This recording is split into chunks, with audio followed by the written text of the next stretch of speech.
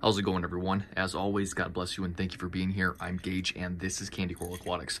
If you're new to my channel, please think about subscribing and tapping that notification bell. This is where I talk about all things reefing, but more importantly, where I share the information I've gathered on my tank with you guys to help you become better hobbyists at the hobby we call reefing. If you're already a subscriber and you're back for more, I just want to say thank you very much for being here and coming back to watch more of my videos. Today's video is being made from as a request from a fellow subscriber who is wanting to know how to lower phosphate in the aquarium. So this particular person is having an issue with really high phosphates and not enough nitrates. So let's go ahead and talk for a second about phosphates, and then I'm gonna give you guys some ways to remove the phosphates. So what you need to understand about phosphates, first of all, is we're introducing them into the aquarium, right? They don't just show up. It's something that we are doing um, as the hobbyist that is introducing these phosphate levels into the water. so there's a few main reasons as to how phosphate gets into the water.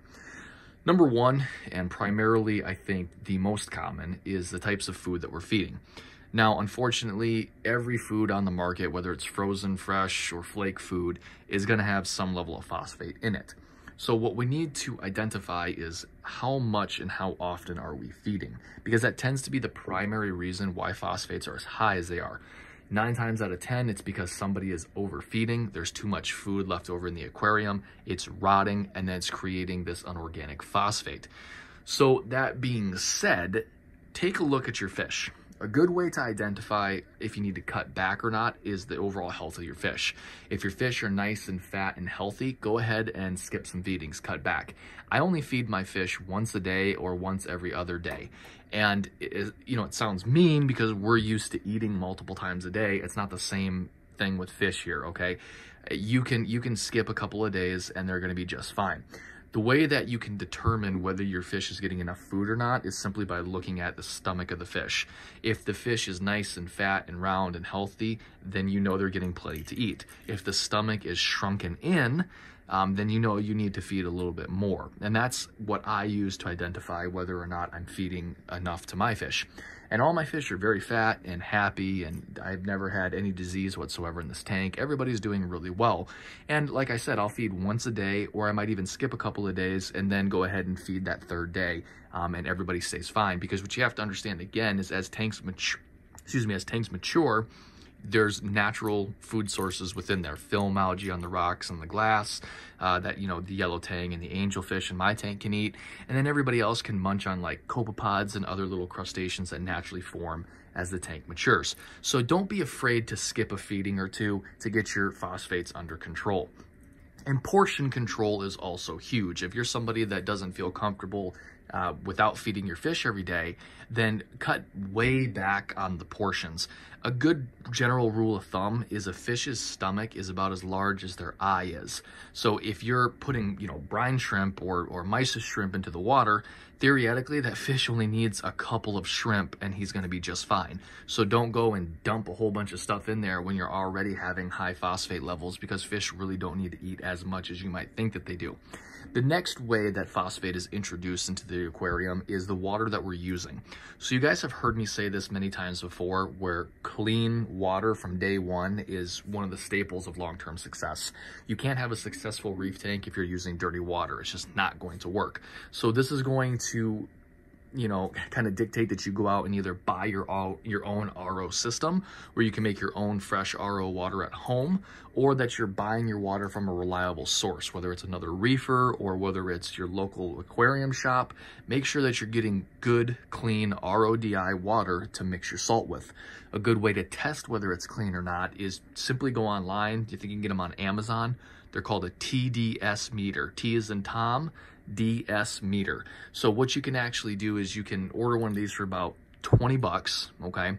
Get shipped to your door and you can actually test your sink water and you can see how much TDS is in your sink water, your tap water, and then you can go ahead and test your RO water. And if it's good RO water, you're gonna see a vast difference uh, between the TDS of your tap water and the TDS of your RO water. Now what TDS stands for is total dissolved solids. So what this meter is measuring is everything that's in the water that is not actually H2O, that's not water. So this could be anything, which is why it's so important that we're using RODI water um, reverse osmosis deionized water because what that does is through that process, it's stripping everything out of the water, even, um, you know, the minerals that us as human beings need, but our fish don't. So it's making zero TDS water. It's taking everything out and just giving you water. That super clean water that's just nothing but pure water is then what we're going to be adding to the aquarium and that's how we're going to get the best chance at making sure we don't have phosphates and it's going to give us the best chance at long-term stability because then when we mix in a high quality salt mix we're getting pure salt water um, full of all these good elements from the from the you know the salt that we're using or whatever it is that we're dosing. And then of course it's going to be phosphate free because our water source is phosphate free now, the third way that phosphate can get introduced into the aquarium is the salt that we're using. So when it comes to water changes, there's two things we have to look at. The source water, you know, which is what we just talked about, and then the salt that we're using. So if, if you know that your source water is good RODI water, it's got a very, very low TDA, TDS, zero or as close to zero as possible, then we know that the water is not the issue.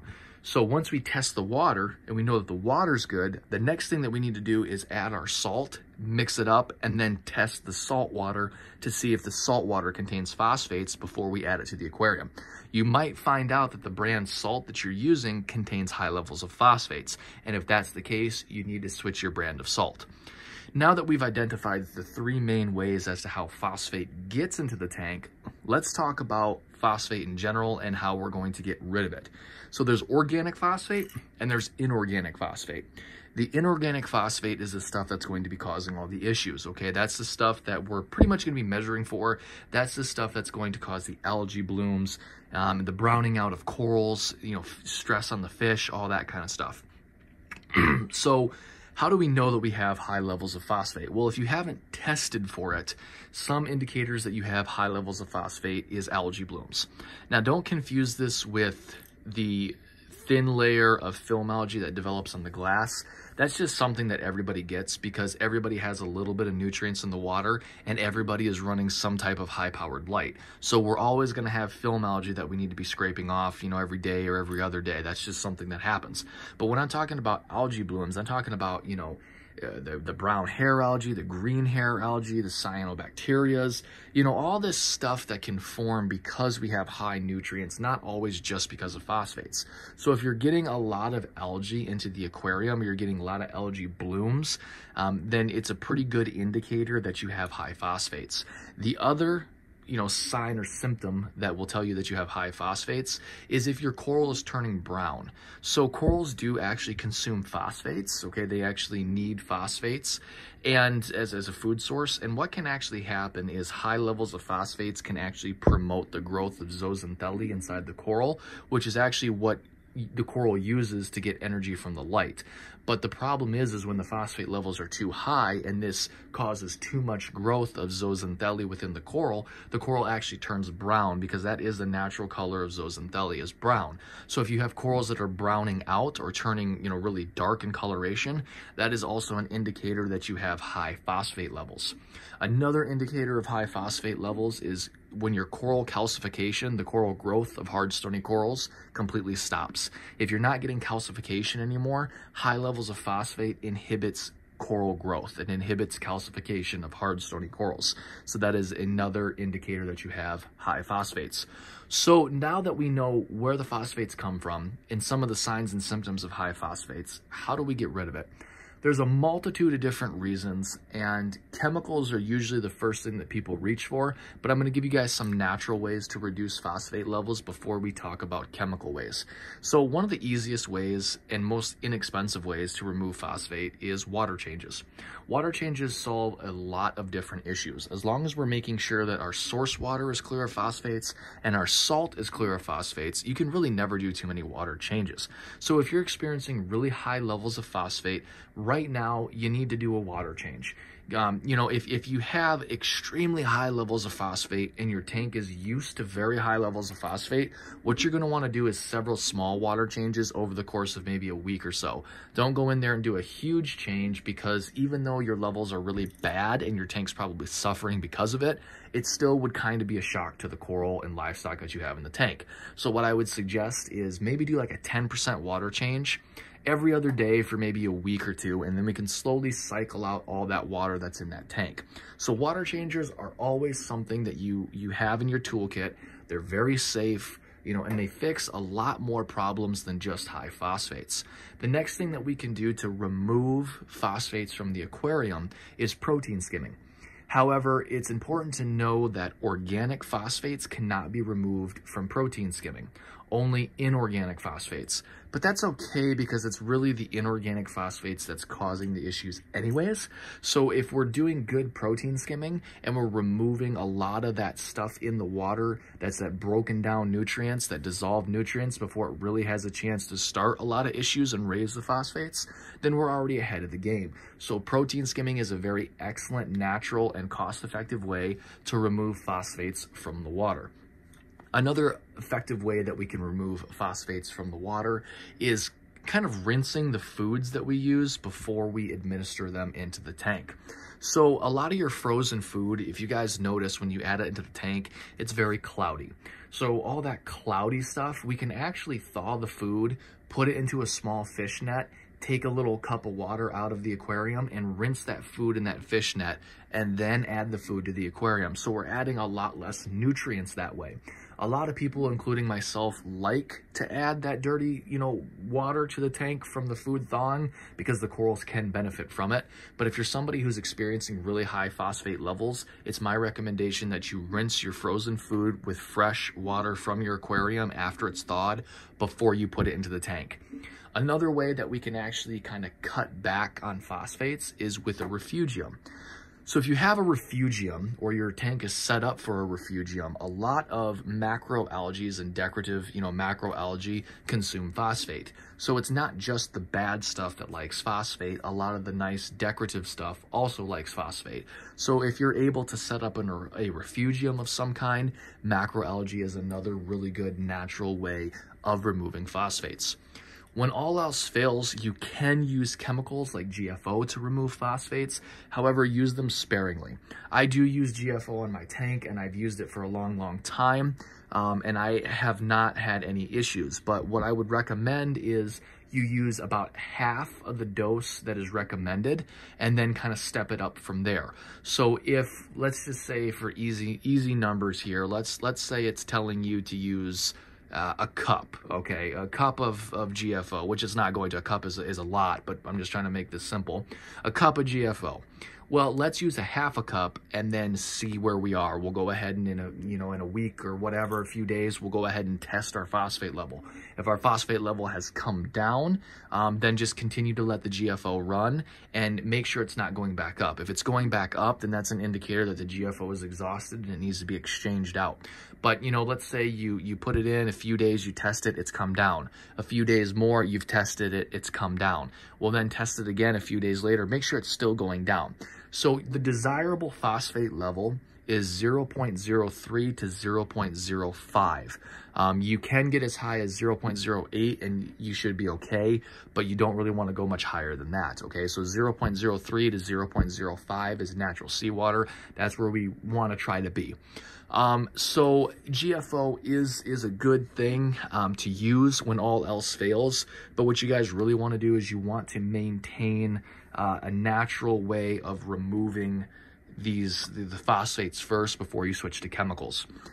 And then the final um, kind of tool that I have for you guys in the toolkit of removing phosphate is carbon dosing. So you can carbon dose, and what carbon dosing does is it creates like this carbon molecule in the tank that promotes the growth of a specific type of bacteria that will actually consume and or eat up these phosphates um, these organic and inorganic phosphates, and then we can actually skim both the organic and the inorganic phosphate out of the water because we're going to be skimming uh, that bacteria out is I believe how it works. So the bacteria is going to capture up and eat up these phosphates, and then we can remove that with water changes or we can skim it out all entirely. But if you're somebody who's trying to get your nitrates up, carbon dosing is probably not going to be good for you because carbon dosing will actually lower both nitrates and phosphates.